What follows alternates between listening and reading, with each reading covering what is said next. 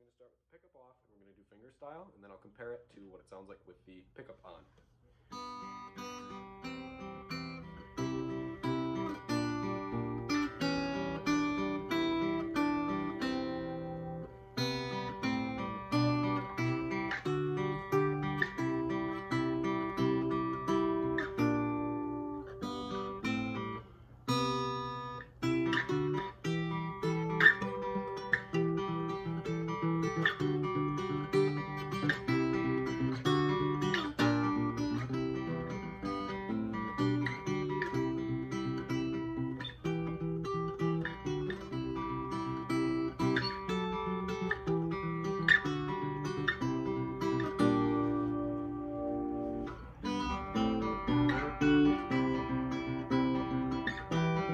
Now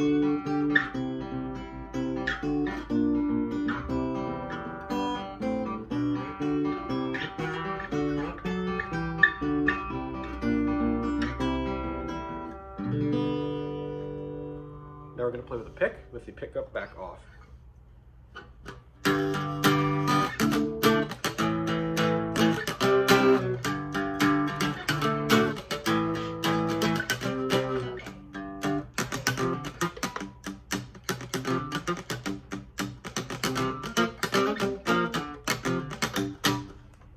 And here's the pickup back on.